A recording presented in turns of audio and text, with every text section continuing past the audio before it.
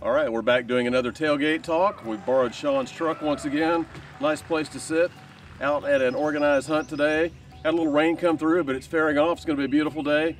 And we have Mr. Cliff Campbell. Cliff, how are you today, bud? I'm doing great, Steve. Doing Hey, great. Pleasure to meet you. Uh, tell us a little bit about what you do back in Ohio, right? Yeah, right now I'm retired, but uh, some of my hobbies, of course, is metal detecting, uh, flying drones, and metal detecting. I got in about six years ago, and just love the hobby. Okay. And you've got a YouTube channel, I think? Yeah, uh, Cincinnati Clad King. If you want to tune in, I do uh, metal detecting videos and drone videos. So Clad King, does that mean you're finding a lot of coins out in the yards or a what? lot of coin, a lot of clad coin. Not a lot of silver, but a lot of clad. Yeah. So I dubbed my name Cincinnati Clad King. Okay, do you have kind of any jewelry over time or anything like that? Or? Yeah, uh, a lot of rings and uh, earrings, but probably about 54, 55 uh, rings. So that's not too bad. 55 bad. rings, that's pretty darn good. I love it, love it. now, I think you were telling me this is your first organized hunt to go to, is that right? Yeah, I just I seen it on uh, Nugget Noggin's uh, video, and I'm like, I want to do that. And My wife kept encouraging me, go ahead and do it, go ahead and do it. I'm like, oh, I don't know. She said, do it. Quit being such a baby and go out and do it. So I signed up, and here I am.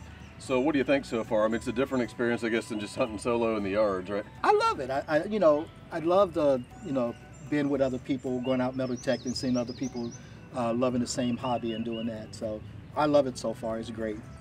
Yeah, we'll get you to show uh, some of your finds after a while. You found some uh, halves, I guess, so yeah, far? uh, right now uh, we had a half dollar hunt, and so far I found 12 of them. So I'm happy with that. That's pretty good. All right, and one of the fun things, if you find the right ones, you get uh, a number on there. You might win some cool prizes. So uh, we'll keep up with Cliff later on today to see if he does good in the silver hunt. You know, I'm hoping so. I think I think it'll be fun. uh, any advice for any other people getting into this about what you think about getting started? Yeah, one thing about metal detecting, or even going on a hunt like this, but if you want to get in metal detecting, you can go find your metal detector, use one for $100, $200. Go out, start doing it, see what you like about it. Uh, it's a hobby that will pay for itself in the long run. So finding coins, finding silver coins, you know, collecting them, it's just a great hobby. Yeah, so you've uh, got to the AT Pro, I guess. Oh yeah, I love my AT Pro. It's I'm so familiar with it, and you know, you know what every number means and what it is in the ground before you get it, and it's just been a reliable machine for me. Uh, I like this where it's kind of a speed hunt, finding stuff as quick as you can. I guess that pays to know your machine a little bit. Oh yeah, you got to know your machine. So if you know what the number is, you know, since uh, looking for a number, if you know they're bearing half dollars and the signal is going to be 88, 89, that's what you're looking for. So, Very good. Well, I appreciate you taking a few minutes. I wish you the best of the luck the rest of the day today. Cliff, pleasure to meet you. same here, Steve. I, I love it. All Thank right. you a lot. Another interesting Garrett customer, Garrett fan here on Tailgate Talk. We will see you next time. 72.